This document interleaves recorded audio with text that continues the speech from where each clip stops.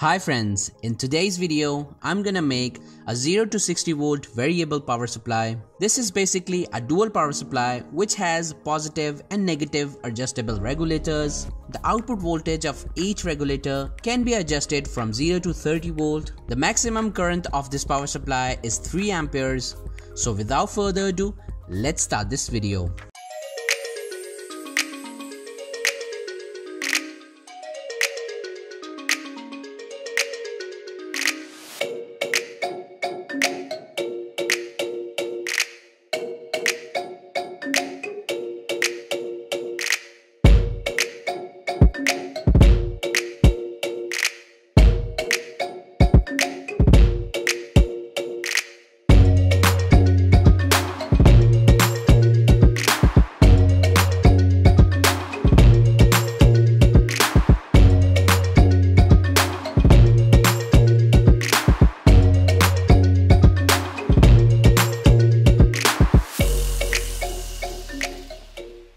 If you are not subscribed to my channel, then do subscribe and don't forget to press the bell icon so you can get notified about my new videos. Follow me on Facebook and Instagram. I have a second channel Canitech, do check it out as well. Subscribe and support it. All the links are in the description.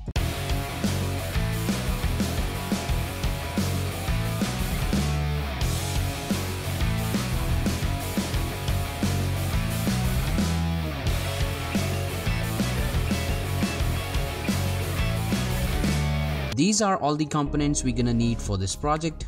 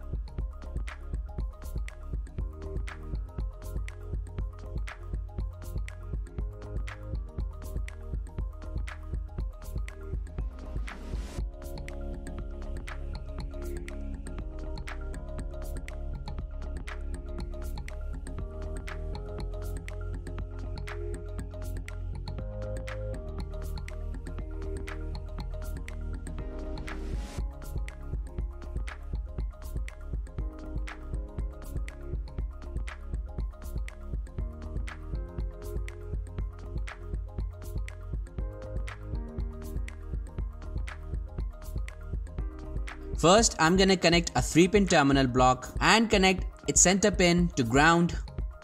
After that, I'm gonna connect a bridge rectifier and connect its pin number 2 to pin number 1 of 3 pin terminal block and its pin number 3 to pin number 3 of 3 pin terminal block and connect its positive pin to positive supply and its negative pin to negative supply.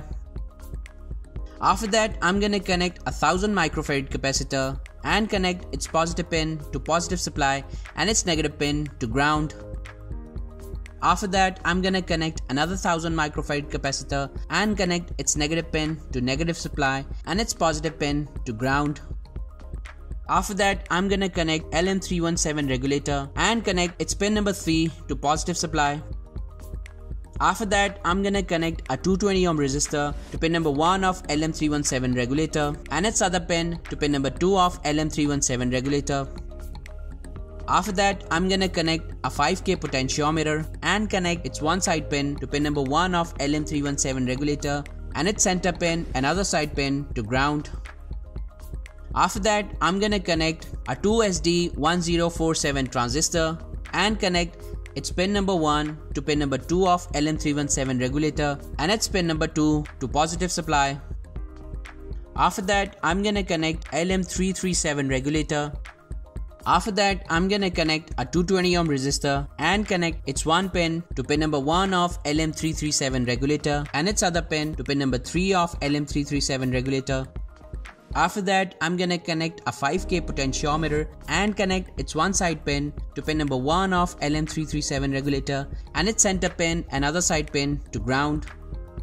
After that, I'm gonna connect 2SD1047 transistor and connect its pin number 2 to pin number 3 of LM337 regulator and its pin number 1 to pin number 2 of LM337 regulator and its pin number 3 to negative supply After that, I'm gonna connect 2.2 ohm 3 watt resistor and connect its one pin to pin number 1 of second transistor and its other pin to pin number 3 of second transistor. After that, I'm gonna connect a 3 pin terminal block and connect its center pin to ground. After that, I'm gonna connect a 0.33 ohm 5 watt resistor and connect its one pin to pin number 1 of 3 pin terminal block and its other pin to pin number 3 of first transistor. After that, I'm gonna connect another 0.33 ohm 5 watt resistor and connect its one pin to remaining pin of 3 pin terminal block and its other pin to pin number 2 of second transistor. So we have completed all the connections. Now let's test the project.